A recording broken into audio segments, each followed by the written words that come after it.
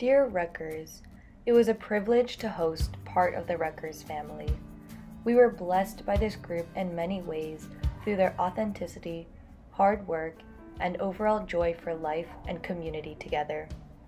It was a great experience for us and our community. Everyone we interacted with that crossed paths with the Rutgers team was encouraged, felt the group's genuine care, and appreciated the work they were able to accomplish. It was a really successful trip from our perspective. Personally, I have two specific things I would like to share with you. First, this group was unique in that it was the most diverse group across every category we have ever had in my time with Hand in Hand. It was a beautiful thing to witness, to experience, to engage, and I was so thankful for that. They were a walking testimony of the beauty in diversity, and they were showing to everyone they met that being together and working together across barriers that the world puts up is not just possible, but actually it's the better way.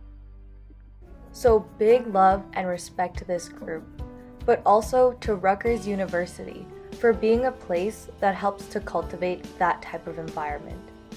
I hope more and more that our world will follow in your footsteps. Second, I believe strongly in crossing cultures and immersing ourselves in other cultures for the sake of learning, building relationships, and bridging the gaps that society often builds based on social standing, money, education, faith, skin color, geography, etc. When a person chooses to leave their comfort zone and enter an unfamiliar place with unfamiliar people, it can be difficult and uncomfortable and even risky. Thank you for allowing this group to travel and come to our corner of the world.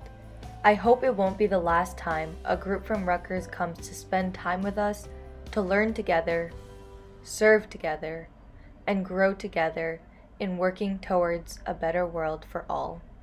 Sincerely, Luke Chase.